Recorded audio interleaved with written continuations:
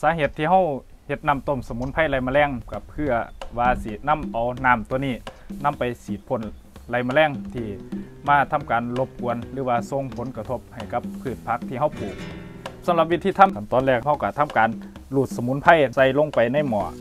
ที่สำคัญสมุนไพรที่เฮานำมาต้มก็ควรที่สิเก็บมาแบบสดๆกับเฮาสร้างตะไคร้หอมใบสาบเสือใบน้อยหนาใบยูคานะครับหลังจากที่เฮาใส่สมุนไพรลงไปในหม้อเสร็จเรียบร้อย เฮาก็ทำการเติมน้ำต่อไปเฮากันน้ำไปตั้งไฟนะครับ ระยะเวลาในการต้มหลักๆก็อยู่ประมาณ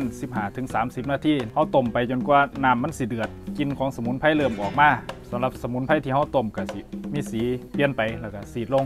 เฮาพักให้เย็นแล้วนำมากรองกรองเอาเฉพาะส่วนที่เป็นน้ำเพื่อเป็นการไงในการนำไปใส่งานเฮาก็สิมาตักใส่ในขวดเป็นการตวงอีกอย่างหนึ่ง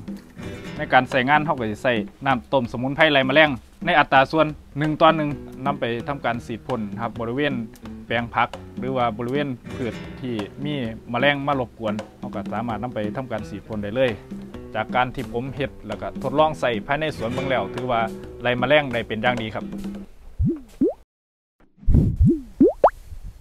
สวัสดีครับ ผมจ่าสิบเอกคุณแผนศิลาโคตรครับในมือนี้สิมาสาธิตวิธีการเฮ็ดน้ำต้มสมุนไพรไรแมลงครับ สาเหตุที่เฮา เฮ็ดน้ำต้มสมุนไพรไรแมลงกับเพื่อว่าสินํเอาน้ำตัวนี้นํไปฉีดพ่นไรแมลงที่มาทำการรบกวนหรือว่าส่งผลกระทบให้กับพืชผักที่เฮาปลูก ซึ่งวัตถุดิบที่เฮานำมา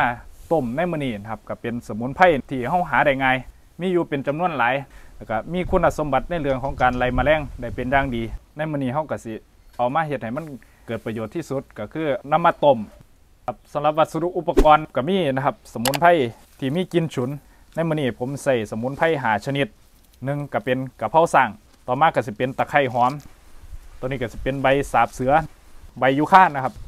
สมุนไพรตัวสุดท้ายก็จะเป็นใบน้อยหนาปริมาณสมุนไพรที่เขานำมาต้มในมื้อนี้ก็ประมาณครึ่งกิโลกรัม หรือผู้ใดมีชนิดหนึ่งสองชนิดก็สามารถใส่ได้ ต่อมาก็สิเป็นน้ำเปล่านะครับ เติมให้พ่อถ่วม จากนั้นก็สิเป็นตะแกรงหรือว่าผู้ใดมีผ่าขาวบางก็สามารถใส่ได้ หมอต้มสมุนไพรนะครับสำหรับวิธีทำเฮ็ดจังไดเฮาก็ไปเบิ่งกันเลยครับขั้นตอนแรกเฮาก็ทำการก่อไฟก่อนผู้ใดมีเตาแก๊สหรือว่าเตาปิกนิกก็ดีบ่ต้องมาก่อไฟนะครับ หลังจากที่เฮาก่อไฟเสร็จเรียบร้อยเฮาก็ทำการหลูดสมุนไพรใส่ลงไปในหม้อตัวนี้ว่าจำเป็นต้องซับก็ได้ถ้าเฮา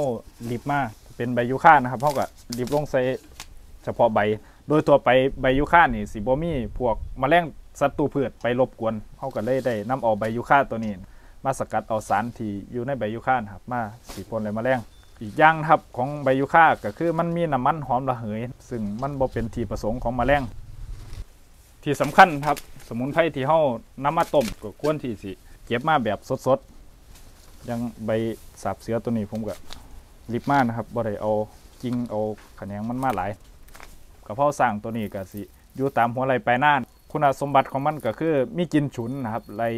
พวกแมลงไล่หนอนได้เป็นอย่างดีตะไคร้หอมตัวนี้ก็สิมีกินหอมกินฉุน ซึ่งบ่เป็นที่ต้องการของแมลงแล้วก็สามารถไล่ยุ่งได้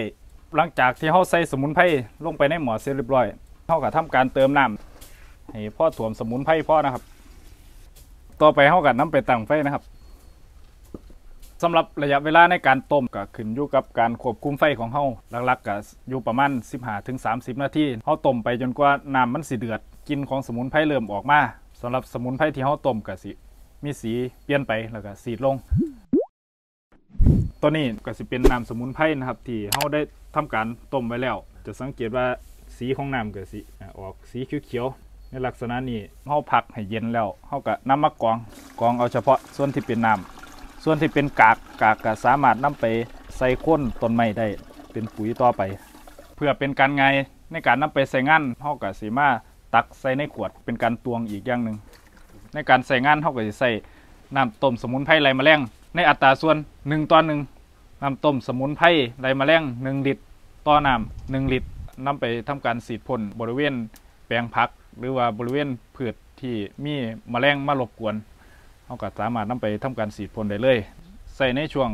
ระยะเวลาคือช่วงเย็น ซึ่งระยะเวลาช่วงนี้จะมีแมลงหนอนออกมาหากิน